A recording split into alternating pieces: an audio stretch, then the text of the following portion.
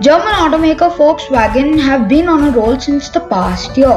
That's because we have seen the brand new Volkswagen T-Roc and the Volkswagen Tiguan Allspace.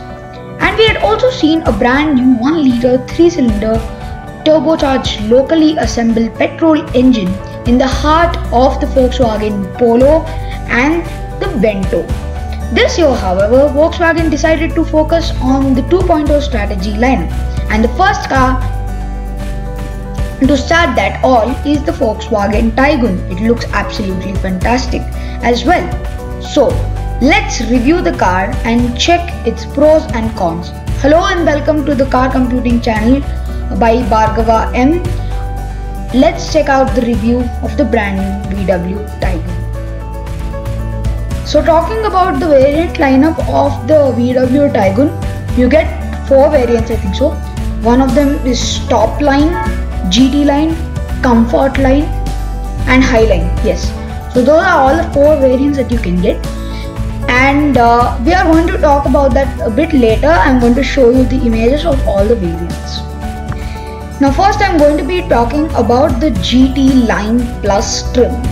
Talking about the exteriors, the major differences that you can notice, uh, one of them are the LED headlamps which you don't get on the other variants.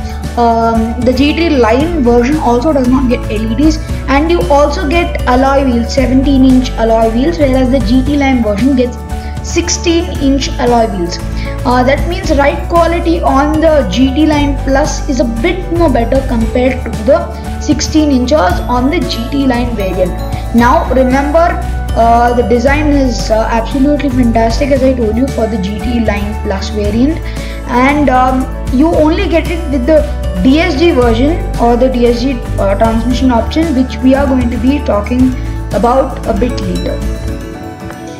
Now the interior of the Volkswagen Taigun feels brand new compared to other Volkswagen in the lineup. Uh, you can also notice a lot more differences. Uh, as I told you previously, this variant is only available with the 7-speed DSG transmission and the 1.5 liter TSI engine only. So that is the only engine and gearbox transmission you can have with this variant.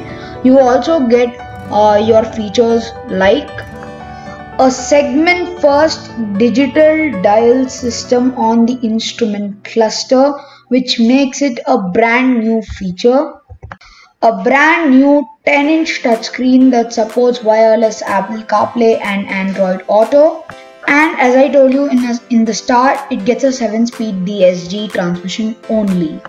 Now let us check out the manual version which is available in the GT Line 3. Now after checking out the DSG and checking out the manual later, you will observe that the manual is a class down as I told you in the previous section. Now you miss out on the LED DRLs over there and you also don't get uh, the 17 inch alloy wheels like on the uh, GT Line Plus. You only get 16 inches. The design I think so with the removal of the LED headlamps it looks fine. I mean it isn't that striking to the eye as like the exterior on the interior of the Taigun GT line manual you definitely feel that drop in terms of sophistication. Because you get the proper analog dials with your regular flip key where you need to twist it to start the vehicle. And also it feels sportier compared to the regular GT Line Plus automatic trim because of those red accents and that is the whole aroma of this cabin.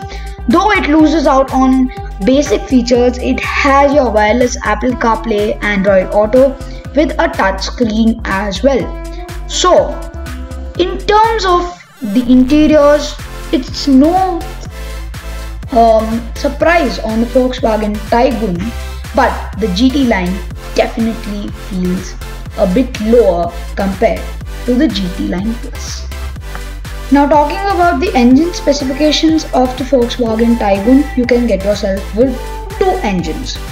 either a 1.5 liter turbocharged petrol or a 1 liter turbocharged petrol.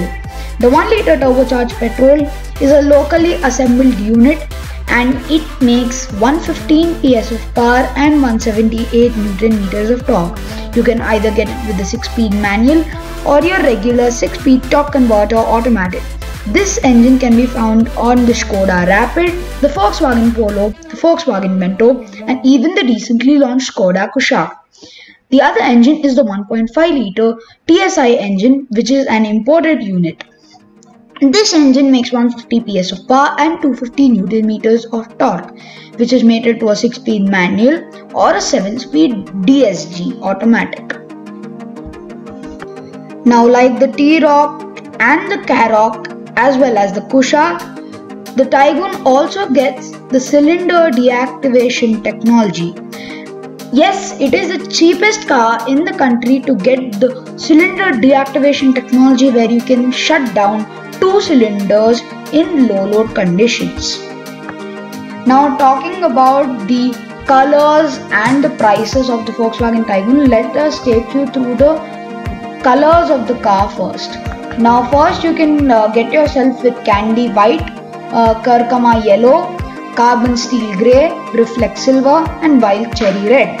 Now talking about the prices, the dynamic line with the manual transmission uh, can be bought at 10.49 lakh rupees, the Highline manual at 12.79 lakh rupees, the Highline automatic at 14.09 lakh rupees, the top line manual at 14.56 lakh rupees, the top line automatic at 15.9 lakh rupees, the GT line manual at 14.9 lakh 99 lakh rupees and the GT Line Plus DSG Automatic at 17.49 lakh rupees. Remember these prices are all ex-showroom. If you like this video please make sure that you give it uh, a like by pressing the like button.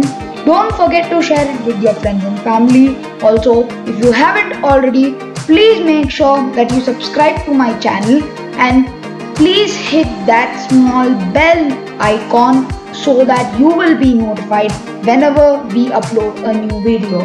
Thank you so much for watching and we will see you next time.